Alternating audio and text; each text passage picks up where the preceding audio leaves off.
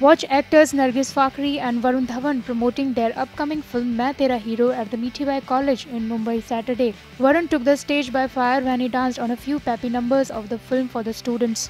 Enjoy it all here. IANS report.